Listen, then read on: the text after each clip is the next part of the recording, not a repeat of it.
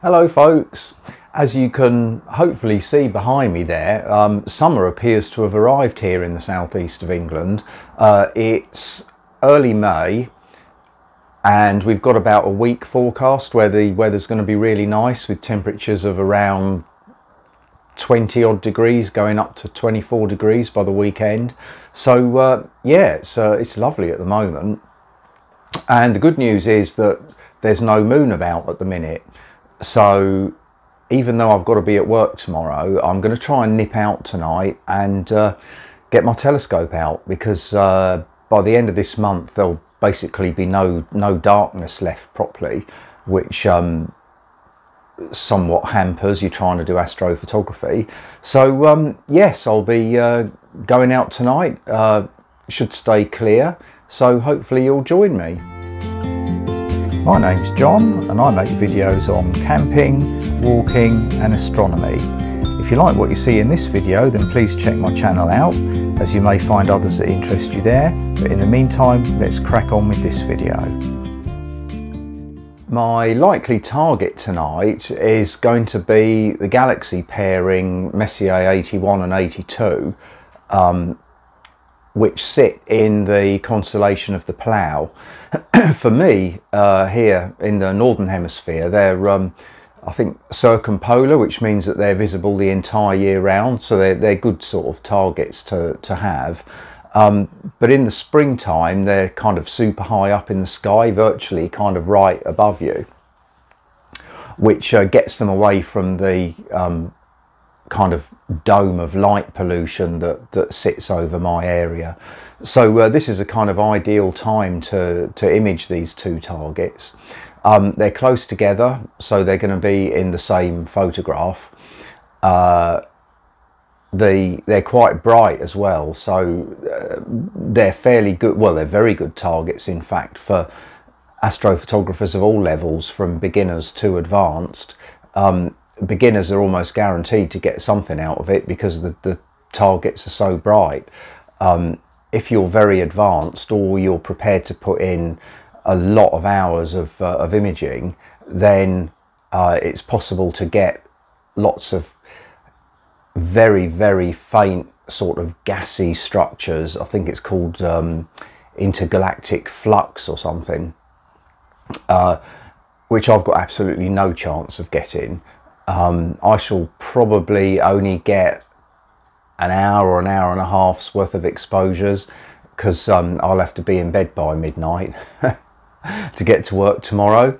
But this is where these two targets are, pretty good ones, even though I might only get an hour or so's exposure time on them. I shall uh, hopefully get something out of them. So um, yes, let's um, wait for evening to come and get cracking. Don't want to sleep tonight at all. Just want to watch them stars fall. But you don't want to try to make up dreams. Just to be seen I want to lay here beside you. Oh, quiet. Fire breath and open sky It's not what we know. It's where we go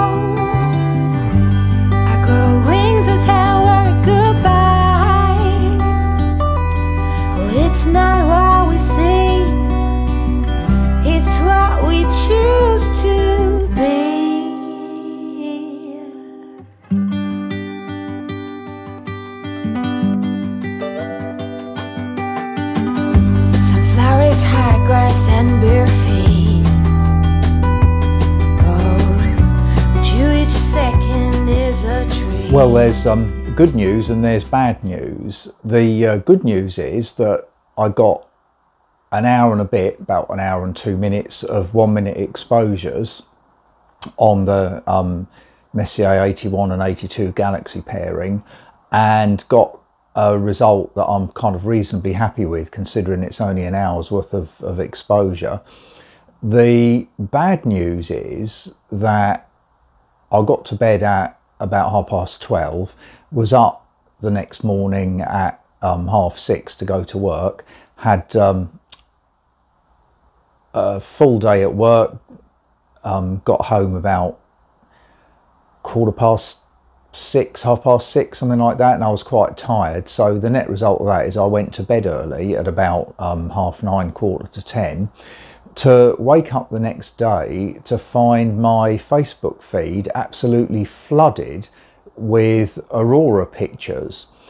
And I live uh, 51 degrees north, basically, so the aurora kind of never comes down to um, my part of the world.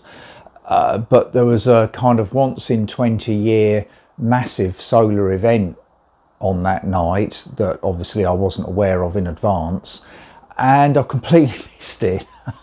I can't believe it. There was photographs from people in their back gardens in my town that were astounding. Um, yeah, so I was quite gutted. So um, I think, yeah, this once in 20 or 30 year event I've basically missed. and uh, I'm not 100% convinced I'm going to be around for, for another one when it comes round again. So uh, yeah, that was the bad news anyway. Um, on the plus side, it was a really nice weekend weather-wise and I had a nice ride on my bike and that kind of thing. Um, so I can't really complain. But um, yeah, my back to my photograph. I processed it and um, I'm quite pleased with the result at the end of the day.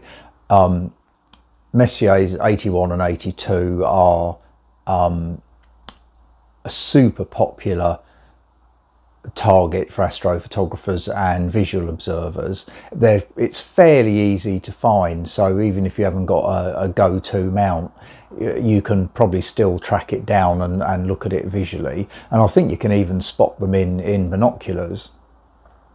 The two galaxies are quite close together. They're about 150,000 light years, I think, between each other, um, which is fairly close in, in astro terms. And both of them sit, uh, give or take, uh, 12 million light years away. Um, M81, the spirally type galaxy, um, is known as uh, often known as Bode's Nebula, uh, but it's obviously a galaxy. It's probably because when it was um, originally spotted, they didn't know about galaxies outside of our own Milky Way galaxy, so everything got got classified as a nebula. M82 is a or, or is known as the cigar galaxy, presumably because it looks a bit like a, a, cigar. And it's actually quite bright. And if you're looking at things uh, visually, I think that's the one that you, you tend to see first. The characteristic of M82 is it's got a huge, like absolutely huge amount of star formation going on inside its centre and I think there's something like a hundred times greater star formation than we have in our, our own Milky Way galaxy. And the net result of this is there's, I think it's like a solar wind uh, cre that's created by these uh, star formation.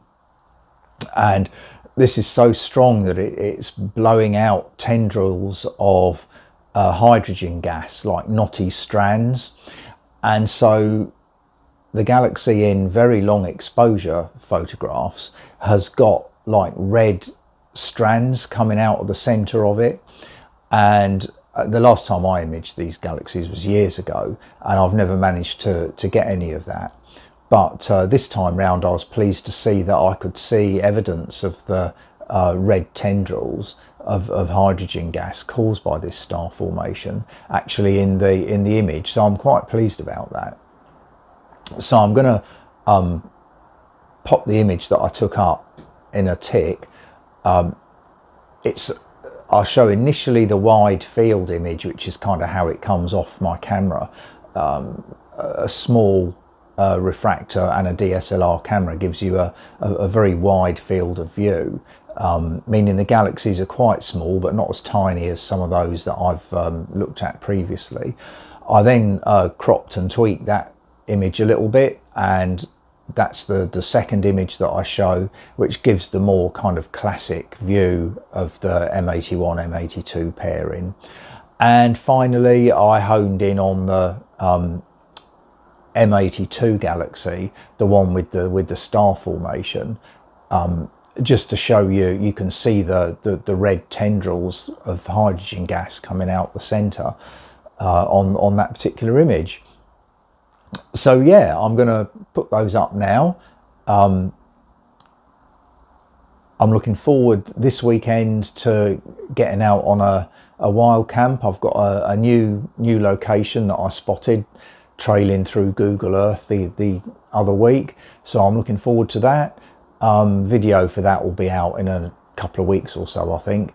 Um, but yeah, on, on that note, I see the sun's trying to get out now. I shall um, bid you cheerio and I hope you like my picture. Take care. See you.